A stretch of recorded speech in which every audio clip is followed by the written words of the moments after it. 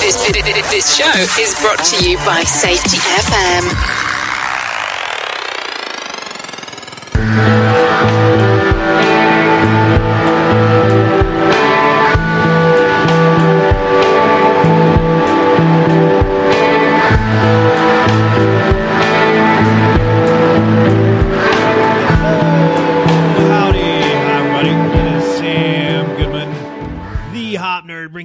Another episode of the Hop Nerd Podcast. Before we jump into this thing, make sure you head over to the website www.thehopnerd.com. Follow along on all things social media at the Hop Nerd, except for Twitter because it is super duper special. It is the Hop Nerd One. Send me a text message, give me a call, leave me a voicemail in this handy dandy Hop Nerd phone number that's listed below make sure you send me an email, sam at thehopnerd.com or thehopnerd at gmail.com. Having that conversation with you is the best part of this entire thing. I believe through those conversations is how we make the world a better place to work. Today is super duper awesome because we have the one, the only, the Pedro Maciel on the show. Um, it took a while for Pedro and I to connect, but we finally made it happen. Uh, I won't keep you here too much. Here's me and Pedro talking about all things safety. So I am joined today by the one and only Pedro Maciel. I just asked him to make sure I was pronouncing that right. I wanted to make sure that I was not uh, butchering his last name, and and I'm, I'm getting nods of approval. I hope. I'm, I'm, I'm thinking that's the the correct way to Yes. say it. How you doing today, Pedro? Good, good. Thanks for having me on the show, Sam. No, man, it is absolutely my pleasure. I, I reached out to you a while back and was hoping to get you on, and everything worked out, and here you are. Um, so this is really, really awesome. Do you uh, care to jump in and, and introduce yourself a little bit to everybody? Yeah. I, hi, everybody. Uh, thanks for having me. Uh, Pedro Maciel. I am an avid safety professional, very passionate what we do. Um, I'm also a podcast host, but we'll get into that uh, a little bit later. Uh, I've been doing safety for about 10 years. I got into it from a labor standpoint. Uh, got into it being a general laborer and got asked, Hey, I need you to be the safety guy. And that's how I ended up in the safety role. And here we are 10 years later, um, you know, going strong. Let me let me let me throw this one out to you. Um, what was that like when you when you got your first safety gig? Um, and they're like, "Hey, you're the safety guy." How how was that? It was very interesting because, mind you, I was a laborer. I was going in confined space, uh, confined spaces, and doing a lot of grunt work in the chemical plants down in Texas. Mhm. Uh, so when they asked me, they thought I had the potential to be the safety guy for this one turnaround. So I said yes. I seen all the safety guys walking around, handing out, you know, the the gold dollars for for good things, and then you know drinking coffee and, and eating donuts. And I was like, man, I can do that. So I, I took that role and, and seen that, and then just getting to know those individuals that that were there at the time, that were you know my, my counter my counterparts and coworkers. Uh, I, I grew a great passion for safety. and you realize why they drink so much coffee now, right? Yes, we, Yes. we keep we keep the uh, coffee roasters in business and the producers of midnight oil in business. That's that's kind of kind of what Yes. we do, right? yes, So- we do. So since since that kind of day one um, jump into safety, um, how have you evolved? What are the biggest lessons that you have kind of learned since you started out? What would you go back uh, and tell a young Pedro ten years ago jumping into this profession for the first time? speak up believe it or not speak up uh you know when you're new into the field new into the industry as a safety professional uh you're kind of trying to put your best foot forward and and try to make the best you know put your name out there and do the best job that you can and you know you get hit with a lot of um you know we've always done it that way and you know i'm not going to listen to a kid and Hmm. you know a, a, a younger guy uh, but yes, definitely speak up and you know put your foot down in a sense to where you get your point across and and you're able to save those lives because again, it could be a life you're saving um, or a life that ends up getting hurt if you don't speak up. That that's huge. Um, some folks out there, folks that don't know me extremely well, probably have a hard time believing this. But I think that's amazing advice because when I first started into this profession, I was kind of a quiet person. Um, I, I know, big surprise, right? screaming into a microphone yeah. now, but I was I was kind of a quiet person, and it took me quite a while to find that voice. Um, so yeah, that's that's huge. I think that's that's great advice to give folks is to speak up um, don't be afraid to challenge and, and, and be a dissenting voice and, and all that kind of good stuff. Um, any pro tips for folks? I mean, in and around that, how, how can they, uh, how can they do that a little bit better or any, any just general pro tips for folks that are wanting to kind of get into safety or, or make a career out of this stuff? You got to know what you're talking about. Yeah, I definitely got to know what you're talking about. Now, granted, you can go and try to, um, you know put your foot down and speak up and make your challenges but make sure you're you're you're educated in in what you're talking about. Um you know that's definitely pro tip number one. Number two ask a lot of questions from those individuals that are telling you we've always done it that way. Ask the questions well why have you done it that way? Right. you know what makes you do it that way? Is it easier? Is it more feasible? Is it less uh, hazardous uh, because you'll learn a lot out in the field from those veterans that have always done it that way for the past 20 years. Um, and, and you gain a lot of experience and don't get, don't, don't be afraid to get your hands dirty. Put your gloves on and go touch the tools that you're telling your guys to, and, and gals to, to be safe with. Go ahead and put your hands on them so you get familiar with them. I, I, think that that's phenomenal. I mean, going out and and people that, that listen to me quite a bit, they know um, I'm always preaching about being curious, right? So just going out mm-hmm. with that grain of curiosity and and I think that's great advice is to go out and learn something from those folks. Ask those folks. There's a reason, right? There's yeah. there's probably a reason why things are, are done a certain way. Um, and when you go ask and you're curious, sometimes you'll find out that that reason is kind of dumb, right? Yeah, yeah. or or it'll just be that you'll kind of prompt that question and they'll be like, I don't know. And then you ask somebody else, say, well, I don't know. We've just always done it that way. And then you ask 10 or 15 people and they kind of go in this big circle and go, well, there's no reason why we really do it this way. So we can definitely change that.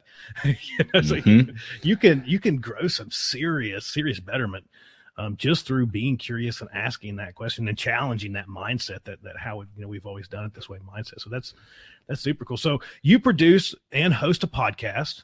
Um, it's the X factor of safety, right? Yes, sir. So I've I've listened to it. It's excellent. It's a great podcast. Um, tell tell folks out there about that. How can they find it? What do you talk about? What kind of folks do you have on? All that kind of fun stuff. Uh, you can find it at all the platforms where you listen to podcasts: Apple Podcasts, Spreaker, Spotify. Um, there's a couple others. Um, Castbox. Anywhere you find your podcast, where you're listening to this podcast, you can find you know the X Factor of safety. Um, and how I got into podcasting, uh, it was by chance, by luck. I took a, an idea, recorded it, and decided to have this bright idea. I'm gonna go do a podcast. Hmm. Didn't know anything about podcasting. Didn't know anything about you know what I needed to do, how I needed to sound. I just took the idea and ran with it. And you know, it it's still in its early stages. I started back in June of last year, um, and then just recently hit it, you know, full force coming into 2020. It's one of the things that I told myself in 2019. Hey, you need to get your podcast up and rolling, mm-hmm. and you know, I, I've produced, I think it's 11, 12 episodes so far. Cool stuff. Um, so that is awesome, man. So for folks out there, I think everybody out there probably has listened to or listens to podcasts, right? Um, mm-hmm there's a ton of them out there, but for for the amount of podcasts that are out there, I never really get to meet people um, other than folks like yourself and folks from the Safety Justice League and Dr. J and some of those other folks that we interact with. Um, most folks in my normal day to day life are like, "Who the heck makes podcasts?" Right? You don't you don't really meet many other fellow podcasters. So for folks right. out there that don't make those things, what what's that like? How, how would you describe it? Let me put it that way. I, have got my own little definition. How, how would you describe it? For people that don't make podcasts, but listen to podcasts, um, yeah, it's, ooh, got, you kind of stumped me with that one. so for people that, that, that don't make podcasts and that are listening to podcasts, just think about the ideas that are running through your head and then being able to just talk into a microphone and then put it out for the world to hear mm-hmm. and somebody to get back to you and say, Hey, I like that episode or I like that idea you put out there. That's that's one thing. Um, and, and I asked that question because I think all of us that started down this path had that moment. Because um, I, I, go back and like I'll listen to like some of my B roll stuff that never made it out and we'll mm-hmm. never make it out. I mean, there's no sum of money that will, that will bring that out, right? Uh, and I even go, but you know, you kind of listen, go back and listen to some of your episodes, right? That's what I do at least. I listen to some of mine. I'll start with like one and kind of work my way through and go, oh man, I was terrible. And then it kind of starts getting better and better and better. And so for folks out there that don't do it, I, I usually describe it as um, when you first start, you have to have some serious courage to kind mm-hmm. of throw that stuff out there. Uh, because like you mentioned that, um, you throw stuff out there and believe it or not, people on the internet aren't very nice. yeah, yeah. correct. They're usually not very nice, and I, am uh, not. I, I, don't mean everyone obviously lumped together. Uh, I think to uh, you know, I think to our. Um, I think of it almost like a family, our little like LinkedIn family that everyone kind of groups together on LinkedIn. Um, we have mm-hmm. some amazing conversations on there. There's there's um, that's where I was first introduced to you. That's where I was first introduced to a lot of other folks was through LinkedIn. Um, and it's an awesome bunch of people. But every now and again, you get somebody that's like, "Hey, your sound quality sucks." Yeah, you're like, "Well, yep. sorry, you come do it." right? yeah, definitely. You know the the, the critiques that right, that, right, that right. you get when they're not out there trying to do it themselves. And we're gonna you're gonna get that anywhere, you know, whether it be video, whether it be on, on you know, like like on Jason Lucas's, you know, social media mm-hmm. safety minute, you know, those types of things. And it's only a minute worth of content, but you're always going to have haters. And that's why right, I started right. using that, that hashtag, uh, haters to likers. Right. You got to turn like your haters into likers. So it, it, definitely, you know, there's always going to be haters. They're going to come, come and go. And then eventually down the road, they're going to come and ask you, Hey, how'd you do that? Or, right. you know, how'd you get so big? Podcasting. It's a it's a huge it's a huge first step. I think that's yeah. the that's the piece that I tell people because um, usually that question is, hey, what's it like? You know, to do podcast. The follow up question is is usually, hey, I've got an idea for a podcast. Should I do this podcast? And my answer is ninety nine point nine percent of the time, yes. Like you totally should mm-hmm. jump on it, put yourself out there, be willing to throw out that content, um, and just understand that you're you're being really um, it, it is got got to have some bravery to kind of throw that stuff out there because again, yeah. you're opening up the door to a lot of love and a lot of hate. all, mm-hmm. at the, all at the same time. All at the same time. Yes. Is there anything that you would uh, you would tell people about starting up a podcast? Uh, if you're thinking about starting a podcast, uh, first and foremost, like you had mentioned, Sam, have the courage to do it. If you have an idea, do it. Take the first step forward and, and start. Because right. if you don't start, you're never going to know what possibly could come about.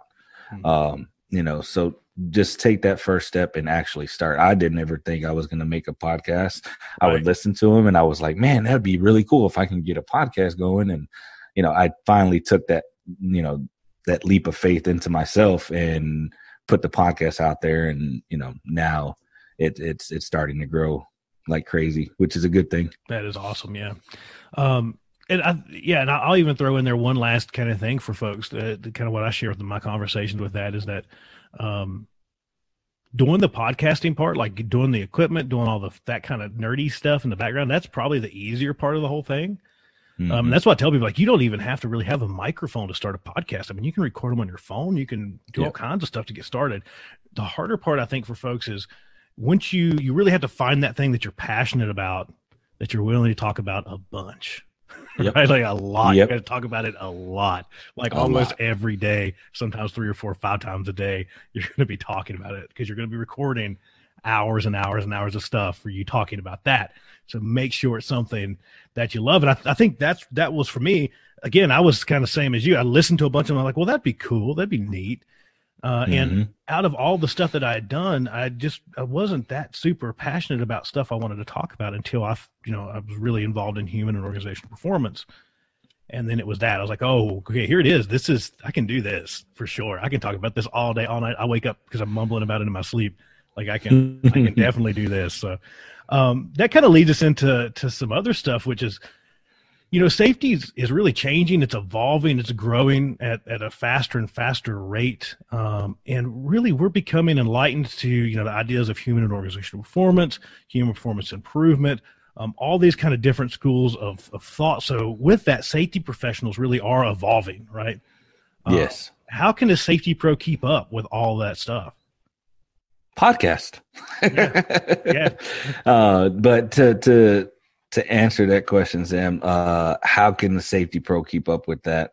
It, it's really just getting familiar with the changes that that are happening, understanding what the trends are, just like we would, you know, understand trends of of incidents and, and near misses and accidents and fatality ratios.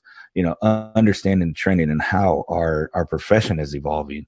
Um, you know, it's no longer um, some companies are no longer you know behavioral based and and that's what in in a sense i kind of got brought into and, mm-hmm. and grew up on and, and, you know as a as a safety professional but now it, it, it's about understanding your worker understanding you know the the human aspect of what's going into your company um, and, and, being able to to have that compassion and and enlightenment and coaching to be able to help somebody succeed to help your company succeed in, in all reality. Right and kind of speaking to that hop stuff i mean you, I'm, I'm, assuming that you're seeing a bunch of this stuff. Are you seeing it kind of pop up in the workplace at all yet?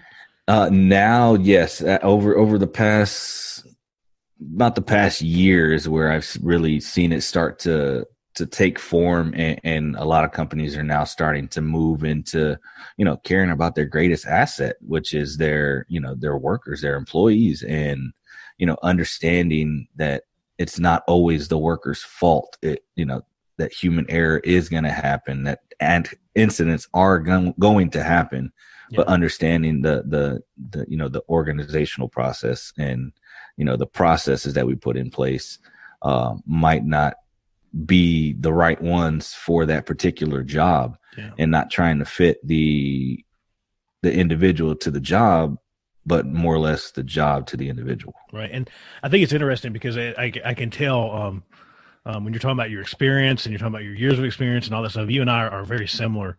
Um, and i can i can hear you talking about coming up in this behavioral based school of thought. Um, and i came up in that same that same time frame it was mm-hmm. right there when all the behavioral based snake oil salesmen were out there selling observation programs and safety culture stuff and all you know all this different stuff. Um, so I was I was right there with you. Um, I, I, can think of you know eight nine years ago. Uh, it was insane for a company to not have a behavioral based observation program. Yeah, yep. That was like the cutting edge thing. Yeah, and then and then with that having that that cutting edge behavioral based program and you know you get that ingrained into you mm-hmm. and you know it's all about you know how many observations are you making uh you know throughout the week and then it became you know looking at stats and and, yeah. and you know it got really really diluted um, right you know which is a good a good thing that it did get diluted because now you know you can look at the hop side of things and and really really focus on on the individuals and and the people that are yeah. you know doing the job and putting their lives at risk day in and day out. Yeah, and I you know I think I think that's where where the issue was is that um, most folks, I mean most organizations, kind of a lot of this behavioral based safety stuff approached it from this well if you care more and you coach more then stuff kind of works itself out. And that was that's a really convenient answer for the company because it goes, well, it's not air bad, you know. Yeah. Um, yeah. It puts more of that more and more of that responsibility on the pointy end. Um, but when we started to really wake up, but uh, uh, the big thing for me was is that coaching is always a great thing. That's never a bad thing, right? If you're if you're, right. actively coaching and actively caring for folks, I just think we already do a really good job of that, probably, right? Mm-hmm. And the the behavioral based piece, they kind of took that and said, well, now if you trend these, you can forecast and predict, and you can prevent, and it still kind of aims back at prevention. So, um, like I said, I think it really did get way diluted, and fortunately has started to kind of peter out mm-hmm. over the past yes, few years, at least away from that piece of it. Um, I'll I'll throw that out there that usually some of the more um, rampant kind of BBS people will say, "Well, you don't care about people then," and that's not true at all. right? I mean, coaching is great. You know, if I go out in the field and I see a behavior that's not so great, for sure, we're going to talk about that. That's kind of a duh. Oh yeah, a duh thing.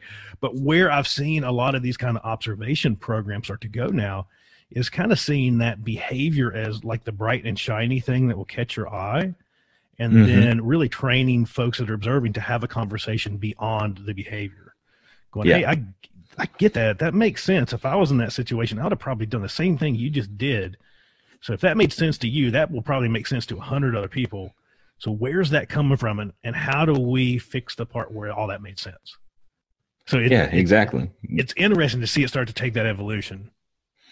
Yeah, and, and getting into you know again that human behavior and you know looking at the behavior and it's not oh okay he's doing something unsafe let me document this on the card and put it inside the box mm. so that way our observations number are, are up now it's, you know, let's look at the behavior and, you know, ask him the questions so that way right. he can help give us the answer of where his mindset was. Right. You know, oh, well, I was thinking about, you know, going right versus left. And, you know, with that being said, I was also thinking about, you know, my divorce that I just, yeah. you know, happened. And, you know, now I'm not going to be able to see my kids. And, you know, having that compassionate side and being able to get down to the nitty gritty of, you know, before the mistake comes about, understanding his behavior of and and his emotions, yeah, or her thing. emotions. The whole thing, right? Yeah, getting yeah. getting all the way down to the whole context, I think is important, and I think that's been a big shift. Is that um, when I was kind of growing up in this in that kind of stuff, it was really viewed as well. Somebody didn't do something, or they did do something, and that's why something bad happened and if we would have been there coaching it, or if we'd have seen it in the trending, then we could have stopped that bad thing from happening. And it, back to that's a the whole over focus on prevention is a whole nother hour conversation, right? Yeah, yeah. but um, but I think that was a big move is understanding that you know that stuff is warm and fuzzy and it's it's good. I'm not again coaching is great, but it's not a really strong defense. No, right. It's not. It's not no, a real barrier not. against anything from happening. We can't coach harder and not have nice, robust barriers and expect stuff to change. No, I can. I can coach the same, you know, guy or girl uh, out in the field, you know, five days a week, and on that sixth day, something can still happen. Yeah, yeah. I mean, uh, on on the same, I can coach them on the same thing five days a week, and on that sixth day, something can still happen.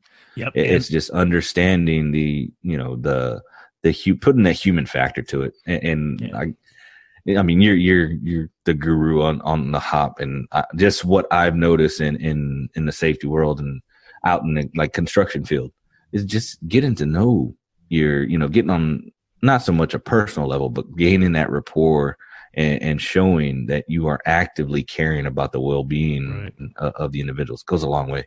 Yeah, yeah, absolutely. Especially when you when it goes to trying to kind of build an environment of honesty, right, to where folks mm-hmm. can can bring stuff up and you can learn, and and that's the whole point. I think that that you can use observations. I know we've kind of got down a little bit of a BBS kind of rabbit hole here, but I, I think certain elements of BBS can play and fit into human and organizational performance as long as they're applied through the filter of, of those principles. Um, yep observations being one of those things is that rather than worrying about the big data and all that kind of stuff out of observations, we know our leaders are going out and they're talking to people all the time. And the vast majority of those interactions never get documented. And usually the ones that do get documented aren't the real ones that are happening. anyways, right. right? I right. can I can predict the trend of anyone's organization that is listening to this right now. It is barrier tape, PPE, and housekeeping. That's your top three yep. trends right now. I promise you. Right now. right? Yep. that that is exactly correct. so to me, the way they can play nicely is getting away from that whole we're going to try to forecast and trend and predict. And again, just kind of seeing those interactions as the opportunity to maybe see a bright and shiny a behavior and understand that it's coming from somewhere and how do mm-hmm. we fix that that context in which the behavior is, is really coming from? Rather than seeing the behavior as the kind of end all be all where when we go out and we coach and we see that as the fix it's like you know it's we're, we're really treating a symptom rather than treating a disease. We got to get down into the to the real nitty gritty of where that stuff's coming from. And there's all kinds of stories out there on that. I won't i won't bore everybody with my stories but even the situations where you hear people like, yeah, they're standing on a table to change a light bulb. Well, maybe we don't have enough ladders. That might be where the behaviors come from. You know? Yeah. Super yeah. kind of dumb example, but it's a good example, right? yeah, no, it's yeah, that's a great example. You know, the guys don't have what they need to be able to perform their job safely, And of course they're going to look for the next best thing and have somebody look out and watch out and say, hey, you know, whistle when the safety guy's coming around. Right. Yeah. It's just you know, it's an it's inevitable if you don't have the stuff there for the people to you know do what you're telling them to do and ask Right. them to do safely. Then it, it you know it, it's a it's a it's a lose lose. If if anyone out there was tells me that they have not stood on a chair to change a light bulb because they did not have a ladder when they first moved into their home, I will call them a liar because I promise you they probably stood on stuff a whole lot worse than chairs. Oh yeah, oh yeah. I, I know. You know, go growing up, I, I, I, you know, we used to put the Christmas lights on my mom's house. Mhm. You know, back when I was living with my mom. Um, but it was on the AC unit with the chair, right. with the bucket, and yeah, it, it's just it wasn't common sense, but it was Well- feasible and it made sense at the time. I, I, I grew up and I was born, raised, and grew up in the southwestern portion of Virginia in the Appalachian Mountains. I can tell you all kinds of things about. I have a degree in redneck engineering.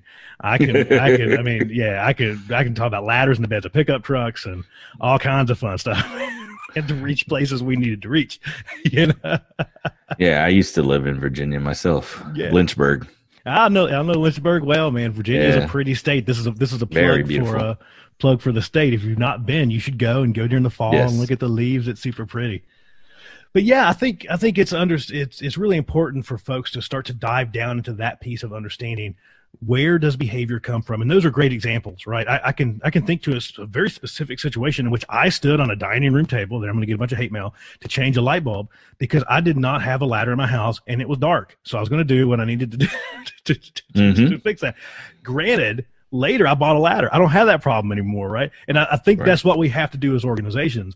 Um, even down to the situation where you know I've I've had this conversation. I don't mean to rant on ladders that much, but where somebody will say, "Well, we give them ladders," but maybe it's like a mile over that way, right? And Mhm. again, human beings, we have to start to understand that people are wired a very predictable way.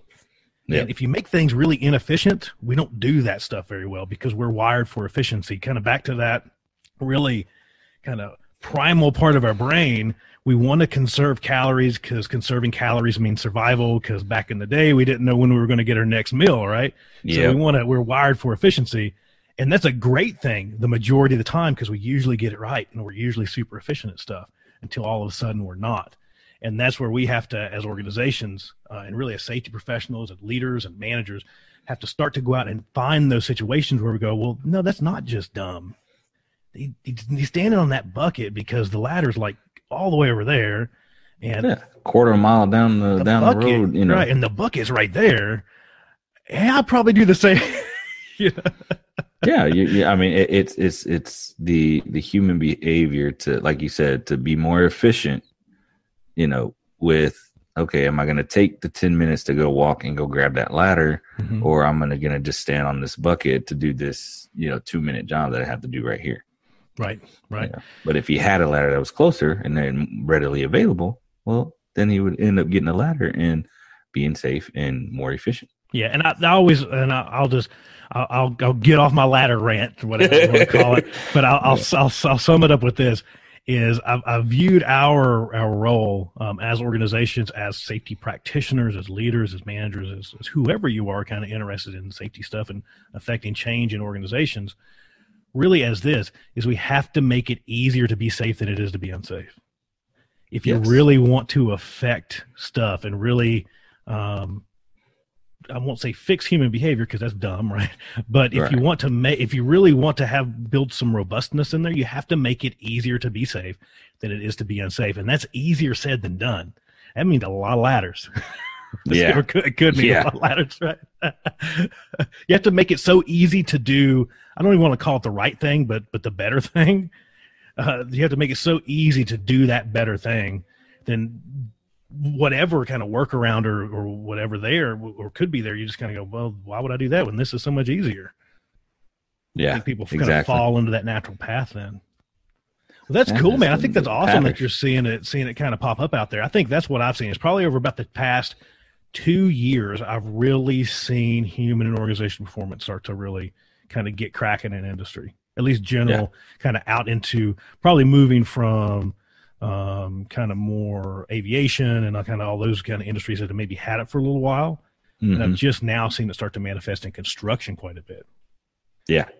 Um, yeah. You know, because on a construction site, you, you, you tend to be more behavioral based. Yeah.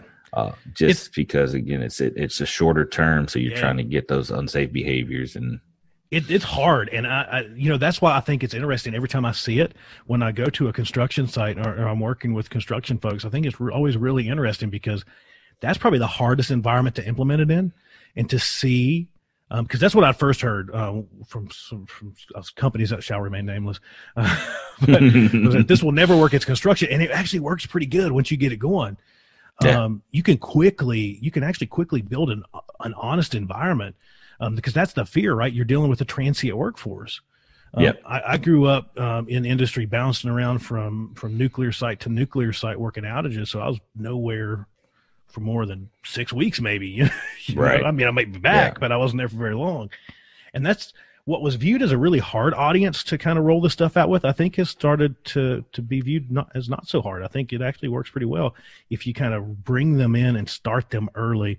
Start with that right language with you know we don't view you as a problem to control right we view you as a solution if you see stuff while you're here tell us let's help us fix stuff help us learn and you know what's crazy is when you throw that out there people will I think that's the yeah. interesting part. When you ask, when you throw those questions out there, people will start to tell you stuff. they get brutally honest. We got to back that up if we want them to keep telling us stuff, but they will.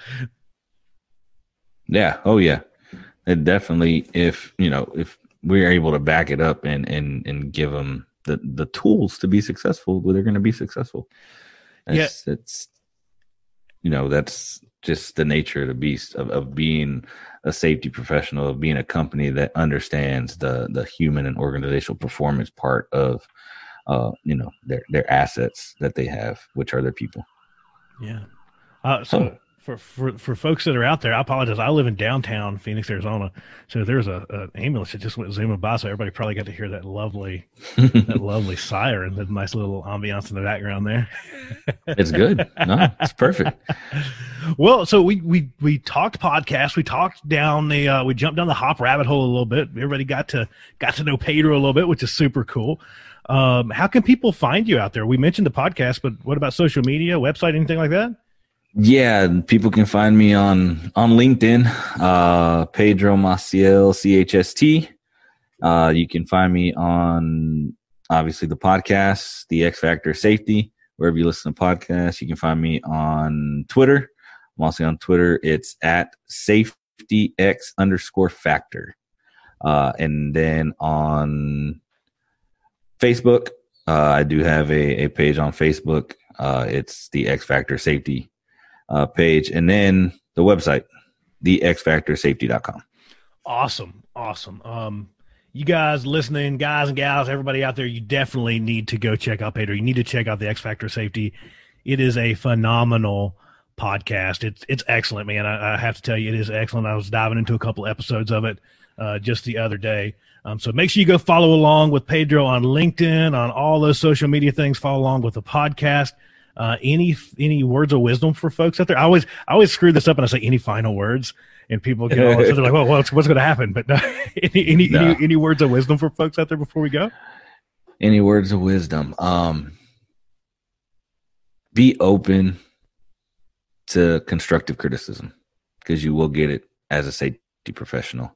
Uh, whether you're new in the industry, whether you're transitioning from construction to general industry, whether you're you know starting your own consulting business you're starting your own podcast be open to constructive criticism because it's not all always going to be bad and what you get is going to help you grow as a per- mm. person that's that's those that's great because i found um i think there's an amazing community out there especially in and around safety kind of podcasting and and I hate to use the I word, but influencers and mm-hmm. and social media folks. I mean, I think that's one of the coolest things that I have found so far about this whole kind of journey that that most of us are uh, we're kind of on together, right? We kind of share the same space. Yeah. Um, is that folks are are very quick to say, "Hey, that was dumb. You should probably think about that." and that was that's a good, and I mean that in a good way. Like they're really quick yeah. to say, "Hey, um, what about this? Hey, did you think about that?" Or, "Hey,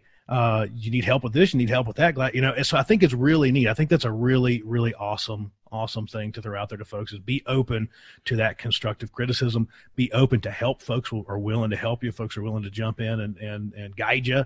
Um, not all that criticism will be true. Not all that guidance will be good. That's up to you to sort out what's what's true and good and just and all that kind of fun stuff. But, yeah. yep. Well, man, oh man, this was a blast. I enjoyed having y'all. I'm gonna have to do this again soon. Oh yeah, definitely. Thanks for having me on, Sam. I greatly appreciate it. No, man, thank you. Well, I don't know about you, but I think that was pretty awesome. Pedro is super, super cool. He's a great safety professional, awesome person to talk to. Make sure you follow along with him. I just found out the other day that he is part of the Safety FM family now too. He's a he's a podcaster and all that kind of fun stuff. So he has the X Factor of Safety podcast. So head over and check out Pedro. Check out the podcast. Check him out on LinkedIn all that fun stuff. That's all I've got for you today. Make sure you head over to the website, www.thehopnerd.com. Follow along on all that social media crap. Send me an email to sam at thehopnerd.com. Shoot me a text message. Leave me a voicemail. Um, send me in your questions. We've been doing all these Q&A episodes, so that's kind of a blast. Make sure you send those in. So that's it. Until next time, this is Sam Goodman, The Hop Nerd, signing off. Bye, everybody. Bye.